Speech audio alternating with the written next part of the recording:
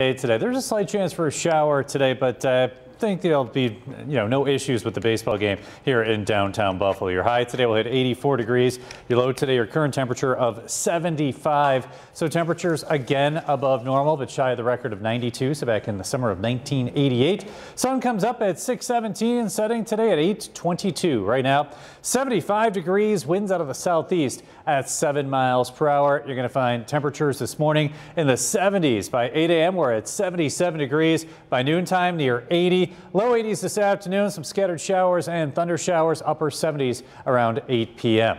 Looking at our 7 Super Doppler, quiet here in western New York, zooming out, tracking some rain out over Lake Erie. That's pushing toward us, but could be clipped with a shower or two this morning, and we'll see another shower or two pop up this afternoon.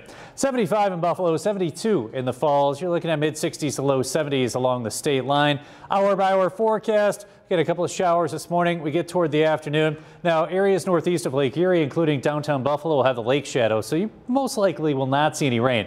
North and south of Buffalo, better chance for some showers, especially over the southern tier later today. We clear out tonight. Wednesday looks very, very nice with a good deal of sunshine. Temperatures in the mid 80s, so no problems uh, for the game tomorrow or Thursday. Today, it'll be a bit breezy, winds gusting near 30 miles per hour this afternoon, and you have that slight, slight chance for a shower. Hour by hour forecast, again, showing the best chance for rainfall will be across the southern tier later today. We clear out tonight. Tomorrow, a good deal of sunshine. Thursday, more of the same with temperatures well into the 80s. Your forecast then for today. Your high 84 degrees, partly sunny skies, some scattered showers and thunder showers, breezy, winds out of the southwest 10 to 20 miles per hour with some higher gusts.